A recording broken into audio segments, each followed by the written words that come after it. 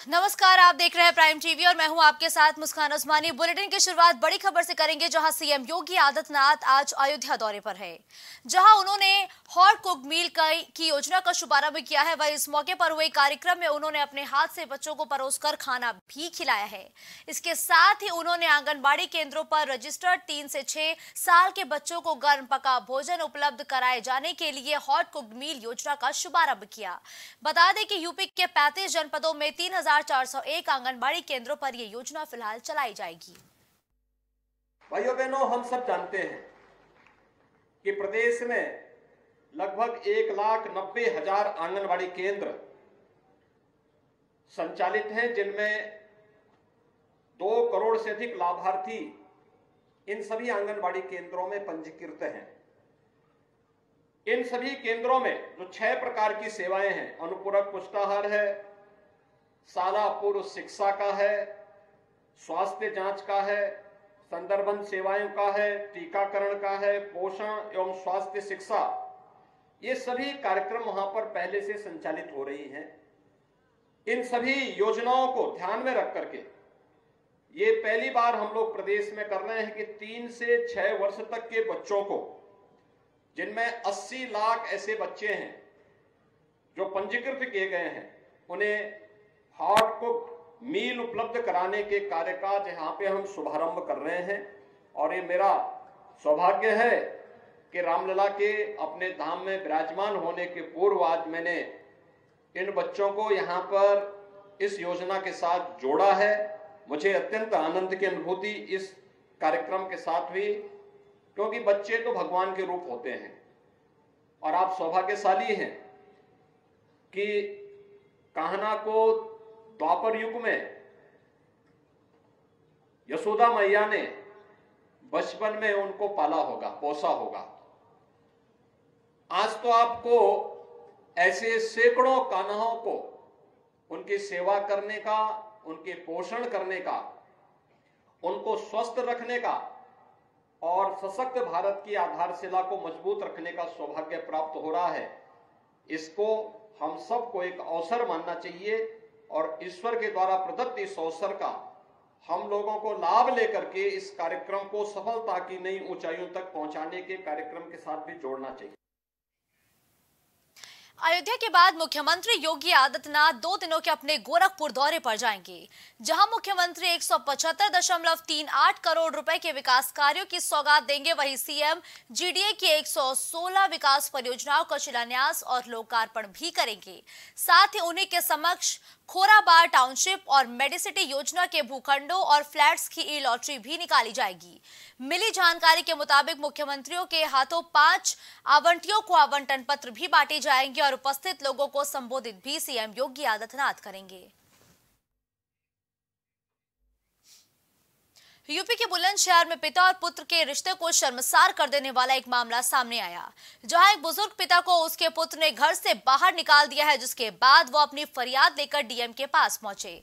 वही पीड़ित पिता ने जिस बेटे को पढ़ा लिखा कर समाज में एक प्रतिष्ठा और पहचान दिलाई, उसी बेटे की डीएम बुलंदशहर सीपी सिंह को दर्द भरी कहानी सुनाते हुए उनकी आँखें भर गई हैं। बुलंदशहर कलेक्ट्रेट स्थित डीएम कार्यालय में पीड़ित पिता ने डीएम से अपने भरण पोषण की गुहार भी लगाई है। देखिए, आज जनता दर्शन में एक अट्ठासी साल के बुज़ुर्ग हमारे सामने आए थे कि हमारे बेटे ने हमको घर से निकाल दिया है, मेरा भरण पोषण की व्यवस्था की जाए। मैंने उनसे बात की तो उनका बेटा किसी नवरत्न कंपनी में एक बड़े पद पर कार्यरत है। मैंने उनसे नंबर लेकर के उनसे बात की उनके बेटे से और बात के दौरान यह समझ में आया कि पुत्र और पिता में किसी बात को लेकर के भयंकर कम्युनिकेशन गैप है। दोनों की वार्ता कराई गई है। और वो आएँगे अपने बेटे को ले अपने पिताजी को लेकर के जाएँगे। औरैया में सुबह एक सड़क हादसे में सिपाही की मौत हो गई है। वही साथी गंभीर रूप से घायल हो गया है। आपको बता दें कि ड्यूटी से लौट रहे सिपाहियों की बाइक आवारा जानवर से टकराने के बाद अनियंत्रित होकर गिर गई और दोनों सिपाही सड़क पर ही गिर पड़े। और पीछे से आ रहे ट्रक ने एक सिपाही को रौन दिया, जिसकी घटनास्थल पर ही मौत हो गई है, जबकि दूसरा सिपाही गंभीर रूप से घायल हो गया है जिसे इलाज के लिए कानपुर ले जाया गया है। घटना की जानकारी मिलते ही पुलिस अधीक्षक समेत पुलिस फोर्स घटनास्थल पर पहुँचे और सिपाही के शव को कब्जे में ले लिया है, साथ ही पोस्टमार्टम के लिए भी भेज दिया गया है। कांस्टेबल रतन सिंह है रहने वाले ये कानपुर नगर के हैं और अभी वर्तमान में थाना अजीतमल में इनकी पोस्टिंग चल रही है। अजीतमल से जो ड्यूटी लगती है मंथली उसमें क्यू आर टी में ये तैनात थे। वर्तमान में क्यू आर टी की ऑर्डर गाँव में लगी से ड्यूटी करके वापस आ रहे थे बता रहे हैं कि कोई छोटा जानवर से इनकी गाड़ी की टक्कर हुई, बाइक की टक्कर हुई तो एक सिपाही दाहिने गिर गया एक बाइक जो दाहिने गिरा था उसको फ़र्स्ट लेन है, उस लेन में एक ट्रक आ रहा था। उस ट्रक के पहिए के नीचे इनका सर आ गया हेलमेट भी लगाए हुए थे हेलमेट भी उसके चढ़ने से टूट गया। तो मौके पर इंसिडेंट की डेथ हो गई अगली खबर बदायूं से है, जहाँ इस्लाम नगर थाना क्षेत्र के अंतर्गत नगर पंचायत रुदायन में एक अज्ञात व्यक्ति का शव मिलने से हड़कंप मच गया है। वह सूचना पर पहुँची पुलिस ने जब पहचान करवाई तो मृतक की पहचान दारा नगर निवासी वाल्मीकि समाज के रूप में हुई है। जबकि परिजनों के मुताबिक मृतक तीन दिन पहले अपने साड़ू के यहाँ हरनाथपुर कोतवाली बिसौली गया था, जिसके बाद शव मिलने से परिजनों में हड़कंप मच गया है। फ़िलहाल पुलिस ने शव को कब्जे में लेकर पोस्टमार्टम के लिए भेज दिया है और पुलिस आगे की कार्रवाई में जुट गई है। अगली खबर कानपुर से है, जहाँ चकेरे स्थित एयरफोर्स स्टेशन 24 प्लेटेनियम जुबली समारोह मना रहा है। इस मौके पर एयरफोर्स की ओर से एयर शो का भी आयोजन किया जाएगा। समारोह करीब चार घंटे तक चलेगा, जिसमें विंटेज एयरक्राफ्ट फ्लाइंग डिस्प्ले भी किया जाएगा। इसमें पुराने विमानों को देखा जा सकेगा। वह एयर वॉरियर्स ड्रिल परफॉर्मेंस में वायु सैनिक अलग अलग हुनर दिखाएँगे। इसके साथ ही एयरफोर्स प्रवक्ता के मुताबिक एयरफोर्स स्टेशन चकेरी का वन बेस मरम्मत डिपो एक प्रमुख विमान सेवा एजेंसी और भारतीय वायुसेना की सबसे पुरानी रखरखाव इकाई है। 24 नवंबर को 75 साल पूरे होने पर यह प्लेटेनियम जुबली मनाई जा रही है और प्रवक्ता के मुताबिक कार्यक्रम का शुभारंभ पहले दिन कवर के विमोचन के साथ किया जाएगा। इस प्लेटिनम जुबली समारोह को मनाने के लिए विभिन्न शो स्टॉपिंग कार्यक्रम भी होंगे।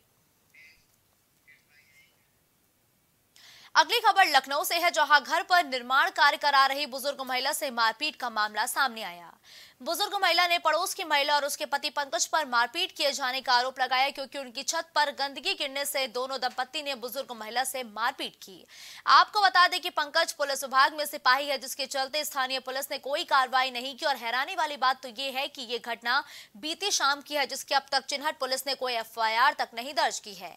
जबकि पीड़ित बुज़ुर्ग महिला का बेटा बीजेपी पार्टी में सम्मानित पद पर भी तैनात है।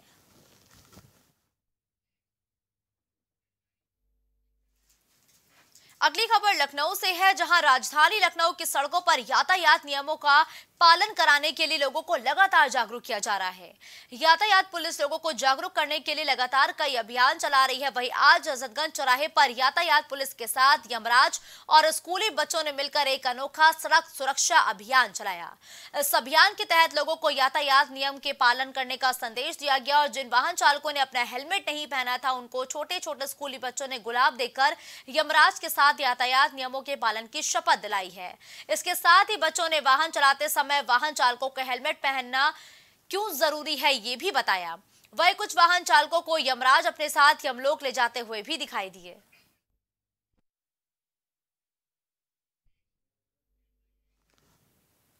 अगली खबर पीलीभीत से है, जहाँ पूरनपुर तहसील क्षेत्र के गाँव गुलडिया निवासी माला सिंह, पत्नी अमित सिंह ने गुरुवार को मुख्यमंत्री को भेजे शिकायती पत्र में बताया कि गाँव भगवतीपुर में ठाकुर जी महाराज के मंदिर का निर्माण उनके पूर्वजों ने कराया था। जिसमें उन्होंने लगभग चौतीस एकड़ ज़मीन भी दान की थी, जिसकी देखभाल पीड़िता के पूर्वजों के बाद माला सिंह और उसके पति अमित सिंह कर रहे हैं। वही मंदिर की ज़मीन पर दबंग भूमाफिया शिवशंकर, सुरेंद्र गंगवार, कलेक्टर दीक्षित और राघवेंद्र शुक्ला के खिलाफ कई गंभीर धाराओं में मुकदमे दर्ज हैं। वहीं लोग ज़बरदस्ती मंदिर की संपत्ति पर अवैध कब्जा करना चाहते हैं। आरोप है कि साठगांठ के चलते एसडीएम ने भूमाफियाओं के हक में फैसला कर दिया है, जबकि मामला पीलीभीत न्यायालय में विचाराधीन है।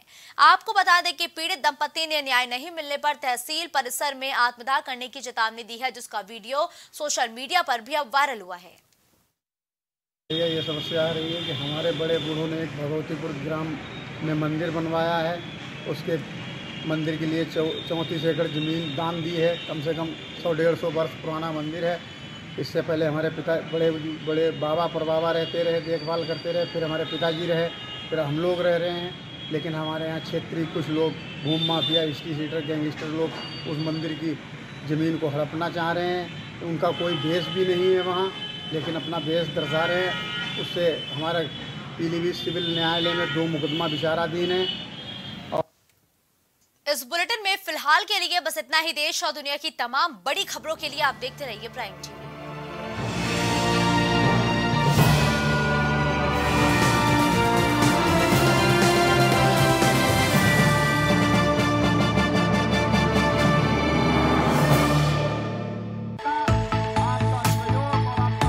कुछ भाव पुष्प।